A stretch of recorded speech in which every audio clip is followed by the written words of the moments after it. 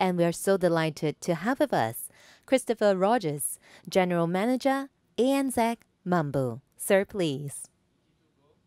Uh, hello, um, audience, ladies and gentlemen. Thank you very much for joining me um, for this session where we'll be looking at digital banking from the cloud up. Uh, for me, that's truly the future of core banking, and uh, we'd like to use this session to explore what that might look like. My name is Chris. I'm the General Manager of Australia and New Zealand for Mambu. I'll tell you a little bit about us during this session as well. So, without any further ado, let's cut to the chase and admit together that everything is changing it's impossible to think where we've come in such a short time when it comes to technology. Um, does anyone in the room or the virtual room today remember this? This is the iPod. I still proudly own an iPod Classic into which I could cram my entire music collection. That was revolutionary at the time. It was groundbreaking. It was incredible. Now, fast forward to where we are today, and we can hold 60 million songs on our wrist. Now, who could have thought that was possible? Who could have thought there were data centers, bandwidth, uh, availability, streaming time to deliver such an incredible wealth of data and music on a wrist piece. So things have changed fundamentally, and that's very important for us to consider as we explore what banking might look like in the future. Banks are changing too and rightly so. Um, we couldn't have imagined where technology would have been today, 15 years ago. And in fact, that's when the larger banks in the world were making decisions around core banking. And only now have we got an opportunity to look at what that core banking might look like um, moving forward. So that's really what I want to touch on this morning because to me, this is a, a, local bank in Australia, a photo taken quite recently to sort of illustrate how a lot of the systems and technology we use now are antiquated. Um, I have a passbook still from my original bank. Um, and that to me was a trusted source of money keeping. Um, everything has changed, and that's what we have to really think forward about today. Um, so for me, the fundamental thing for us this today to consider is technology was built to last before, and rightly so. But today, technology has to be built to change. Um, and that's a very important difference into how we approach the technologies we use in financial services and banking. The advent of cloud technology and cloud servicing is the innovation that meets that new constant, which indeed is change. So think about how companies today that we all know Grab, Uber, Airbnb have done what they've done to disrupt key verticals. And I'd argue it's a, well, it is only possible through cloud technologies. Um, imagine if Uber wanted to get uh, enough data rooms to cater for their busiest time. The expense five years ago would have been fundamentally large. Now, with global loading and cloud services, we can operate at scale, even with the simplest and most basic ideas.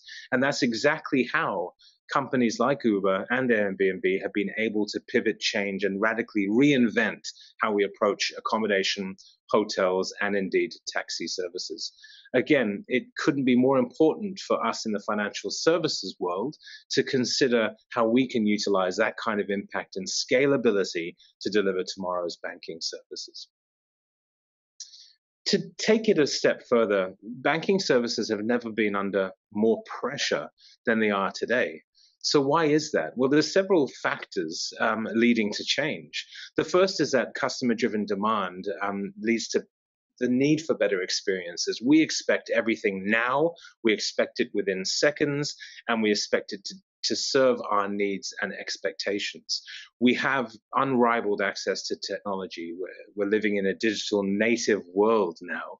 Um, and that at the same breath, there's also a lack of time and patience in the mix. So we have all had to reimagine what the customer experience is. And thankfully, we see banks today, specifically who we work with at Mambu, really putting the customer centric, customer first approach to their core banking and their technologies. So that's incredibly important. Um, obviously, with this advent of technology and how it's used, the, the ability to crunch data in real time um, and then use that data to serve more personalized um, products is changing the way in which we can spin out banking and financial services products as well. Of course, across the APAC region and globally, there are regulatory changes. Um, in many instances, that leading that's leading to lower barriers of entry um, and creating better ways for a competitive landscape to be nourished. Banks and financial services established or emerging have to be aware of that. It's leveling the playing field. So, how can we adopt to that change readily? And speed to market suddenly becomes much more important. Finally, uh, as the fintech ecosystems across the globe glow, uh, grow rather, and glow in, in some instances when the unicorns pop up, um, this cheap access to capital and ability to scale um, and, and innovate is putting more traditional companies at risk or certainly challenging them to think differently. So specific nuances to the banking services, but this fundamentally escalated uh, uh, innovation is impacting how we approach banking. So in this session, it's the short time that we have together. I just want to focus on three simple things. The first is Mambu's approach to what we call composable banking, which I'll come to in a moment. The second is what a cloud up approach looks like if we are building a new bank or modernizing an existing bank or its tech stack, to be more specific. And finally, let's look at greenfield opportunities versus evolution and what that might look like if we are looking to build a bank from the cloud up. Let me take a few moments just to tell you a little bit more about Mambu for those that are joining us today that don't know who we are. Um, we're very proud to, to operate in 63 plus countries across the globe uh, with 250 clients that are spinning out 300 live operations as of today. Um, we stand up more than 6,000 loan and deposit products and couldn't be more proud to have done that. We do that in a relatively lean way. Um, we are a company growing towards 500 staff at the end of this year. We've been uh, afforded many accolades for our approach to market. Um, and most importantly, we're, we're not a new kid on the block. we have been doing this for a while, founded in 2011. We have offices in Singapore, Sydney, headquarters in Berlin, production centers in Iași and Dresden, and we service all global footprints as Mambu. In terms of our clientele, we're, we're helping them to power more than 20 million uh, end users.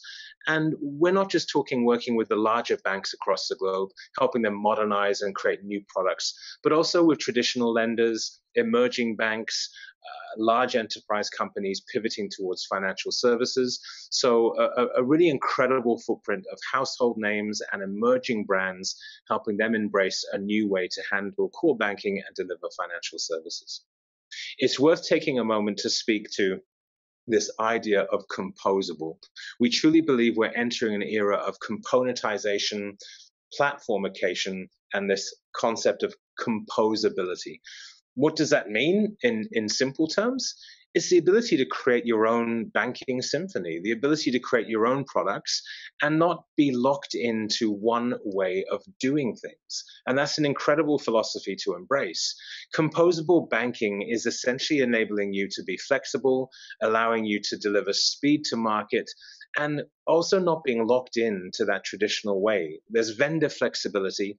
Mambu is the only cloud native uh, core banking platform in the globe, and we adopt a true SaaS approach to the market, licensing these products to you, continually iterating with our product enhancements that's driven by you fundamentally.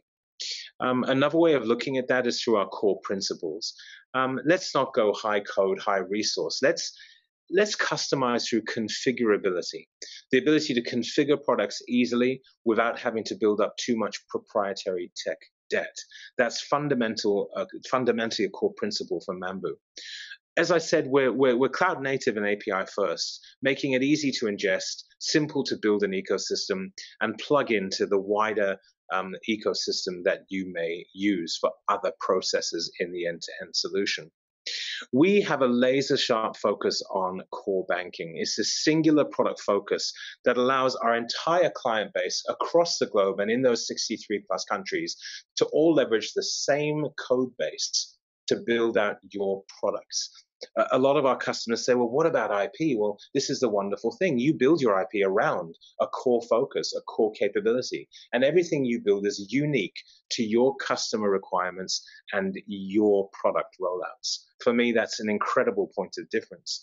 Um, lastly, as I've said, adopting a true SaaS servicing model allows scalability, flexibility, and a different way of looking at things.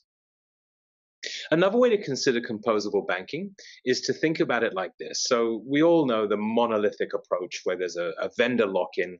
Um, we've got a tailor-made legacy system, probably 15 years ago, before the iPod, where um, it's hard to move and pivot and scale. And unfortunately, a lot of existing businesses find themselves in this silo, and it's hard to be um, to deliver that speed to market and agility we speak of today as we evolve, we get into what is a modular concept, whereby you can build out different pieces of the puzzle, but take one piece out and the entire thing collapses. There's no separation of concerns, and of course, there still is that vendor lock in. How Mambu considers it is think Lego, where Um, everything is awesome, but also Lego is composable. You can build different things out of different bricks that all serve their purpose and are not tied into one type of Lego, one type of vendor. That allows you to take off, take off fast, and pander to what the customer expectations are that we spoke of earlier. We need everything, we need everything now. So this composability makes it possible for a bank, for a lender, for a financial services provider to be composable and think differently about using what they prefer in each part of their ecosystem. A great way to think about composability, let's choose an area in which most businesses build out their own technology, which is origination. The whole idea of credit decisioning. Traditionally, that would be through a credit bureau, to the one technology um, and done in such a way. But these days, to build out a rich customer decisioning, we're looking at the emergence of open banking, data aggregation, different metrics that can allow us to make a different form of decisioning around our risk appetite. It's well and truly this ecosystem that ties into the credit decisioning. That is the best way to think about how Mambu delivers to market. We are at the core. We give you your product factory, your, your general ledger, um, and your customer data. But then you're able to build out your adventure above the line in terms of your origination, credit decisioning, CRM systems, etc., and indeed below where you'd need to either build into existing capabilities or want to build out that, that regulatory accounting systems as well. The simplicity of connecting into this via Mambu's process orchestrator or your own integration uh, middleware makes this very easy to fulfill and build out and maintain and build that journey around the core that Mambu maintains with that singular focus.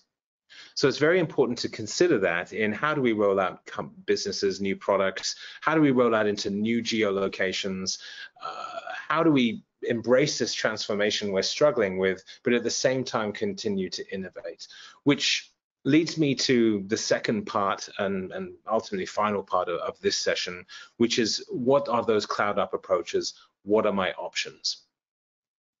We at Mambu refer to this concept as speedboats, digital speedboats. What does that mean? Well, it speaks to the fact that in many instances, and certainly with established banks, you have your cruise ship. It's beautiful. It's a great ship. It's worked for years, but it takes a long time to turn it it takes a long time to slow it down, speed it up, uh, which makes innovation and speed to market quite difficult, if not impossible. Uh, it's a big change of thinking, mindset, resource, and everything that comes with it. Where Mambu have seen some great success and a new trend that's emerging is these larger cruise ships sending out their speedboats.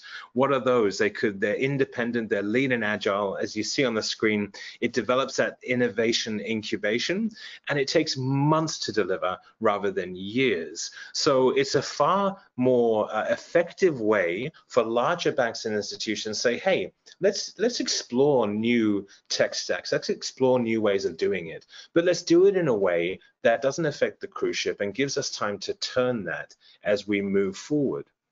Um, what type of speedboats would you see coming out? Well, faster product releases. A lot of the larger banks that we work with, such as ABN AMRO and Santander, have launched new digital banking products as speedboats. Um, and of course, like I mentioned before, if you're looking at new territories, especially around APAC, where there's many market opportunities, um, you can use this speedboat way of thinking to achieve that rapid market entry and validation. So with those cloud up approaches, what does that look like when we're talking about existing technology and or new technology? Um, let's have a brief look, and these are the final minutes of the session, so thank you for your attention, is these three technological approaches to this. Think about it like painting, but not necessarily on a blank canvas, right? Um, because if you're a bank and you have this tech debt, you'll find that on your blank canvas there's a sort of gothic uh, monolithic thing here, and then there's maybe other um, paintings here that will impact what you want to create as a banking picture. Um, then again, a lot of people in the room today may be fortunate to have a greenfield opportunity and paint on that blank canvas. So let's briefly explore what those environments look like. The first approach may be a shared legacy.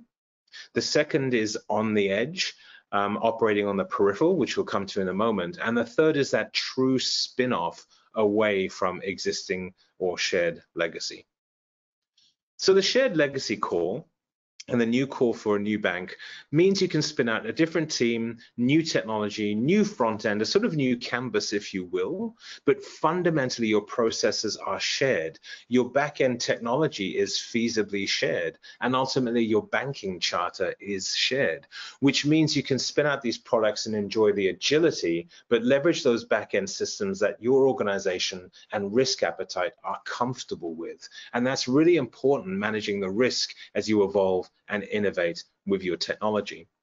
The second is living on the edge a little, um, which I know a lot of banks in the area want to be able to do and want to think differently. So that's really about truly independent operational uh, operations, and often that's done through your venture divisions or, or, other areas of the business, where the only thing you share is indeed that general ledger and the reporting, and you still obviously have that underwritten bank charter. So quite an interesting way to deal with things as well. The final one is your spin-off proposition and platform. So where it's truly different to that core banking, you can even have an independent charter and truly independent operations. Um, either of these ways work well all of these things Mambu have done before with our client base, and each has their own intricacies and benefits. But fundamentally, building a bank from the cloud up considers building that ecosystem that creates freedom, the ability to respond quickly to customer demand. Who thought buy now, pay later would have been a thing even two years ago? And look at how the emerging criticality of these different financial services have now got everyone thinking, how can we do that? What can we spin out? Where does lending evolve into? How do we service different verticals? And Mambu are very confident in this composability, giving you that freedom to deliver such products. I'll close in suggesting we de-risk these bold decisions that are ahead of us. Let's make sure those decisions are right through validation. We have very successfully been able to land and expand this new way of thinking amongst our clients, and it's proving to be the right way to go about embracing change, the only constant we have today, and innovating our banks to where we need them to be for tomorrow's market and tomorrow's customers. Mambu could not be prouder of the partner network we've built um, we have a wealth of materials, listings, and case studies that we're more than willing to share with you so you can explore how building that ecosystem needn't be the confronting challenge it was so recently, and it will make you prouder and more bolder to explore what we can do in the future. So thank you again, everyone, for joining me today in this session and joining Mambu. You'll see at the bottom of your screen that uh, I have a LinkedIn handle. I'd love to connect with you, take these conversations further. Uh, but again, thank you for your time. I hope some of this resonated with you, and I look forward to to driving that agenda for composability of banking being the future for financial services.